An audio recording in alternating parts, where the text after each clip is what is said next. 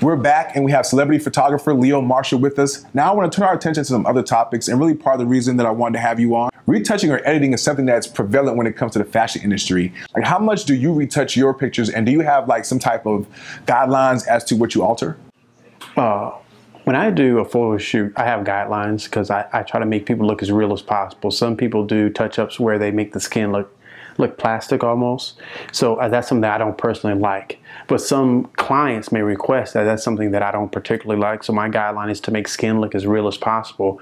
Though um, you see it done so much in the marketplace, people think that's natural now honestly. So you have to just be able to explain to your clients like we don't want to go overboard because you know high end um, retouching takes a lot longer, and uh, that's what my company provides. Like just high end retouch, and we don't want to go too overboard. But it's a, it's an amazing tool, man. Just like what you see, you know, just like in movies. You know, you, I just saw Godzilla the other day, and uh, know that monster wasn't there. So it's a crazy. it's amazing what computer generated um, CGI can do. So I mean, I, actually, I love it. You know, so and so when we're doing beauty shoots, you know, making that hair pop a little bit more, adding a little bit more hair and more volume to it.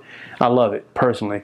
I asked because recently there seems to be more conversation about the role that Photoshop and retouching has on setting, uh, you know, unrealistic expectation when it comes to women and beauty. Like, what do you think about that?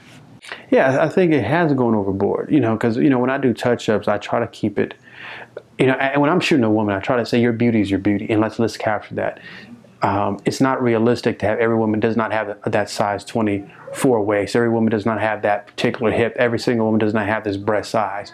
You know, the beauty is in every single size and shape. And you try to you try to celebrate that and express that to women. You know, now if we're shooting now, here, here's the difference. If we're shooting a um, a spread and we're going for something very particular, then we go for it you know, if it is that fashion look, if it is that beauty look, if it is that that um, that um, sexy vixen look, then we go for it. You know, but um, I don't think we have to do that in just in the commercial general market pieces. You know, and I try to keep away from that because I think it is subconsciously affecting women. You know, trying to create or maintain this beauty that's not real they're seeing in magazines, and you try to tell them like these women do not look like this in person.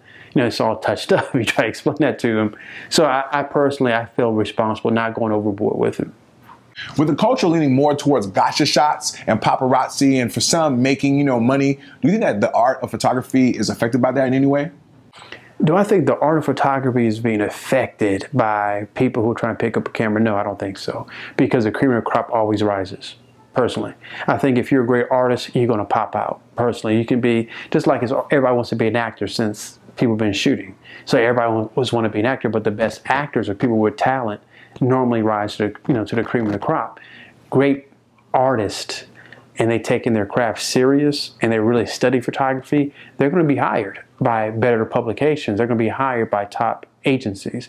They're going to be signed, and people always need that because everybody is not looking for a, um, a no disrespect to a, um, a Hyundai or um, you know a cheaper car you know, some you have different markets. Some people want Rolls Royces, some people want Ferraris. They just have a different standard, mm-hmm. and they they will not put up with nothing less. So they're they're going after those people who are the Lamborghinis, the Bentleys. They're like, I want that. They're the best. So we just market to those people with that mindset. People say, I don't care, and some people have the mindset, I don't care, man. As long as they have a camera, I'm going to hire them. I don't care about that mindset. I'm going to go after that person. I'm not I'm not even interested in being hired by them. But people who can get a check from them, go ahead, make your money, take care of your family. That's the way I see it. Like if you got a camera, you want to be a you know photographer, and you spent 200 bucks on a camera, go for it. Make a little money if you can. Speaking of advice, what advice would you give to someone who aspires to be a celebrity photographer like yourself? Well, I just say I say to anybody, if you're going to be a a, a, a, doctor, lawyer, entrepreneur, businessman, or creative, take it serious. A lot of people who are in the creative world, they think too much with their right brain. Um, your right brain is your creative side. It, they have to balance that out and be analytical how I'm going to make money from my thoughts, how will I make money from my creative ideas. I think that's the biggest thing because you don't have to be the best photographer, you don't have to be the best singer, you don't have to be the best dancer. You just have to balance it out for what I'm doing, how I'm going to charge somebody for this thought. And a lot of people don't do that. So that really be, be my best advice is not always focusing on the craft because you can get lost in the creative thought and not knowing how to to provide for your family, provide for yourself. You know what I'm saying? And they're giving away um, their thoughts for free. That will hurt the industry. You know, you know what I'm saying? Because if you're a, if you're if you're a consultant, you don't do that. For you, it may come really easy because you're an artist. You're like, oh, it's no big deal. Let me to share that with somebody. But that you, you God gave you that to bless people, also help take care of, of your business because that's your business. And I said, just take it serious, man. Study. Just just try to perfect your craft so you can be the best at what you are. Just don't do it as a hobby. I know some people they don't they just shoot and I really, really they don't know the uh, technical side of things when I talk to them. They just they just got a camera and start shooting. If you want to take it to the next level, you just have to really read the manual, study, read books, read composition, why people do certain things, and you will be better. And when you're expressing your thoughts to people, they see that you know what you're doing. They're willing to pay for that expertise. So, what do you have coming up next, and where can people find out more about you? Okay, well, we just did the Dream Fashion event, um, which was awesome. Um, from Carl Payne, Divine Stevens, uh, who else, man? It was so many great people that came out to that.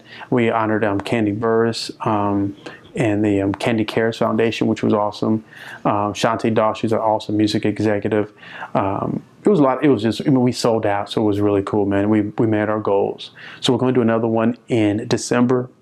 I have a few more lined up in October and August. Um, and then I have a production company, so we shoot a lot of um, beauty commercial spots, a lot of a lot of um, infomercials. So um, I have to go to Orlando to shoot some of my big product uh, projects, excuse me, in Orlando for ten days. Uh, and that is in two weeks. I'll be out there. Then we have to be in, like I said, Mexico. I have to go to Mexico to shoot some stuff out there. So it's always something coming up. I have another some sizzle reels and pilots I have to shoot on Wednesday. So we're always, what's the great thing about what I do, there's always people hitting us up and calling. So it's a blessing. Just, you know, it's just a blessing keeping staying busy. Keeping busy and staying busy. Ladies and gentlemen, Leo Marshall, thank you for joining us. All right, take care, man. Don't go anywhere. We still have so much more coming up with The Nic Nice Show after this. The Nic Nice Show, sponsored by Hennessy VS. Never stop, never settle.